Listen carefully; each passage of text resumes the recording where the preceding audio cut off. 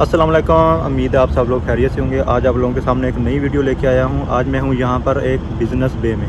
Dubai का जो main hub है ना बिज़नेस का, जैसे दुबई एक बहुत बड़ा सिटी है ना, उसके एक छोटे छोटे एरिया है, जिनमें से फ़ेमस एरिया है ये बिज़नेस बे का। यहाँ पे मैं काम से आया था तो काम होने के बाद अब मैंने सोचा कि आपके लिए एक छोटा सा वीडियो बना दूँ और उसमें दिखाता हूँ आप लोगों को कि बिज़नेस बे का जो मेन एरिया है कैसा है और इसके इर्द गिर्द में जो बिल्डिंग्स हैं वो कैसी हैं। यहाँ पर मेरे सामने एक लेक भी है और लेक भी आपको दिखाता हूँ। अभी मैं बैक कैमरा ऑन करके आपको पूरा व्यू दिखाता हूँ बिज़नेस वे का। ये यहाँ पार्किंग में मैंने अपनी गाड़ी लगा दी है। गाड़ी खड़ी हुई है। गाड़ी लगाने के बाद पार्किंग डाली है क्योंकि अगर आप पार्किंग नहीं लगाते ना तो समझो आपको कम से कम 200 दरम का फ़ाइन है। इस टावर में मेरा एक छोटा सा काम था। काम होने के बाद सुबह सुबह के टाइम अभी दिन बहुत अच्छा था। सुबह सुबह हवा भी बहुत अच्छी चल रही थी। गर्मी इतनी ज़्यादा नहीं है क्योंकि अभी इतना गर्मी का मौसम आया नहीं है। अभी समर आया नहीं है। समर जो है, थोड़ा लेट है। अभी ये मार्च का महीना, माह रमज़ान का महीना चल रहा है तो अभी इतनी गर्मी महसूस नहीं होती है।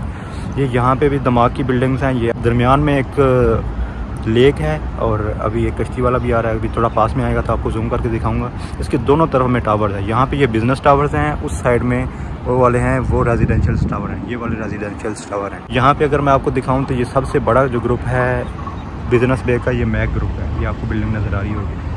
जहाँ इन बिल्डिंगों के अंदर वो लोग रहते हैं जिनके पास मिलियन बिलियन पैसा होता है। और उसके पीछे ये पूरा बिज़नेस बे आपको वो हल्का सा बुर्ज खलीफा भी नज़र आ रहा होगा। ये भी बिज़नेस बे में ही है। बिज़नेस बे के दो हिस्से हैं, एक बिज़नेस बे और दूसरा डाउन टाउन जो बुर्ज खलीफा है, ये डाउन टाउन में है। इसलिए थोड़ा सा, क्योंकि लंबा है सबसे ज़्यादा, इसलिए आपको नज़र आ रहा है बिल्डिंगों के पीछे से। और अगर हम बुर्ज खलीफा वाली साइड में जाएँगे तो वो डाउन टाउन एरिया कहलाएगा। उसके बाद यहाँ पर मैं आपको दिखा देता हूँ वो कश्ती मेरे पास से होकर निकल भी गई होगी। यहाँ लोग यहाँ पर कश्ती के ऊपर घूमते रहते हैं, क्योंकि लेक है, इसमें और भी बहुत सारी कश्तियाँ खड़ी हैं घूमने के लिए। ये जा रही है, इसके ऊपर झंडा भी यूँ लगा हुआ है। ये साथ में आपको बहुत सारी और भी कश्तियाँ नज़र आ रही होंगी। ये सिर्फ़ और सिर्फ़ रेजिडेंसेस के लिए होती हैं। इसको बुक करके आप पूरे जो दुबई का है ना, आप विज़िट लगा सकते हो समुंदर के अंदर अंदर ही। ये यहाँ पे जितनी भी कश्तियाँ यार्ड खड़ी हुई हैं, आप इनकी बुकिंग करो। बुकिंग करने के बाद ये बहुत खूबसूरत नज़र आ रही है। बुकिंग करने के बाद आप इसी समुंदर के ज़रिए से पूरे दुबई को आप घूम सकते हो। और तकरीबन 150 की टिकट है। आपको 150 या 200 में पूरे दुबई का समुंदर के ज़रिए से विज़िट करवा देते हैं। यहाँ से अगर आपको दिखाऊँ तो इस बिल्डिंग्स के पीछे जो आपको नज़र आ रहे हैं, ये S L S five star hotel है। उसके साथ में दमाग, जो हमारा वज़ी ख़जाना है, ये उसका टावर है। पाकिस्तान का वज़ी ख़जाना जो, ये उसका टावर है। और ये पूरी लेक है, यहाँ से वो कश्ती भी उधर को निकल गई है।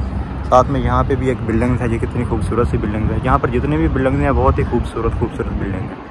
अभी मैंने आपको ये छोटा सा क्लिप बनाकर दिखाया है कि आपको जो लोग यहाँ पर नहीं आए दुबई में, जो दुबई के एरियाज़ को नहीं जानते और देखना चाह रहे हैं तो मेरी वीडियो में कम से कम उनको एक छोटा सा आइडिया मिल जाएगा कि दुबई के अंदर जो बिज़नेस वे का एरिया वो कैसा लगता है। ये बिज़नेस वे का छोटा सा एरिया क्योंकि मैं यहाँ से घूम नहीं रहा।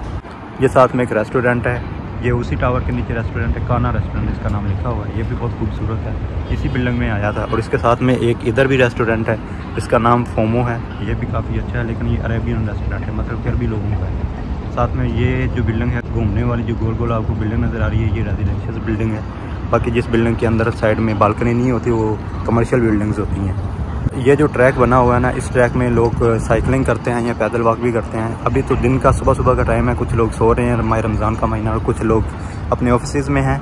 लेकिन जब नाइट को आप आते हो तो यहाँ पे बहुत ज़्यादा रश होता है। इस ट्रैक के अंदर लोग घूमते हैं, ऐसे पूरा घूम के उधर जाके उस साइड से फिर अपोजिट साइड में आते हैं, जिधर वो कश्तियाँ मैंने आपको भी दिखाई हैं। अपोजिट साइड से आके फिर इधर को निकल जाते हैं। अगर इधर को आगे जाएँगे तो आगे मरीना और जेएलटी आएगा। इस साइड में अगर हम सीधा जाएँगे तो आगे मरीना और जेएलटी आएगा। और अगर इस साइड में हम जाना चाहेंगे, ये बुर्ज खलीफा वाली साइड में अगर हम जाना चाहेंगे तो ये डाउन स्टार्ट हो जाएगा। डाउन को देखना, या दुबई को देखने का अगर आपका दिल है तो आपको हमेशा रात को जाना चाहिए। तब ये छोटा सा व्यू आपको बहुत पसंद आया होगा, उम्मीद है। दुबई के कोई और सिटीज़ का वीडियो चाहिए तो कमेंट करो। और दुआ में याद रखना, इंशाल्लाह मिलेंगे अगली वीडियो में।